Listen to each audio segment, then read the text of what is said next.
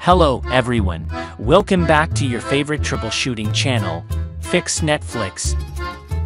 Today we will show you how to control your smart TV with Wrist Smartwatch. A smartwatch universal remote app is an app that allows you to control all of your home entertainment devices with your smartwatch.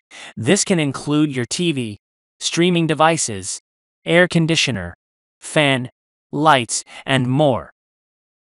Before we start if you found this video is helpful, please give it a thumbs up and subscribe to our channel, Fix Netflix for more helpful tech tips and tutorials. So, let's start it. Step 1. Download and install a smartwatch universal remote app on your smartwatch. There are many different apps available, so you can choose one that is compatible with your smartwatch and devices. Step 2. Add your devices to the app. This process will vary depending on the app you are using, but it typically involves entering the model number of your devices or scanning a QR code.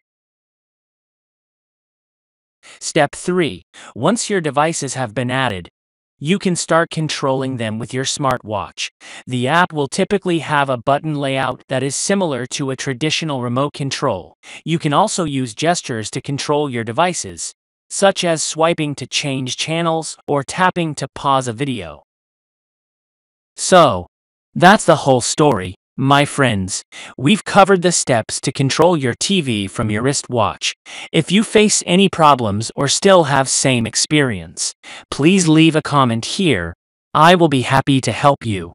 If you discovered this video beneficial, remember to give it a thumbs up and subscribe to our channel, Fix Netflix, for additional tech tips and tutorials.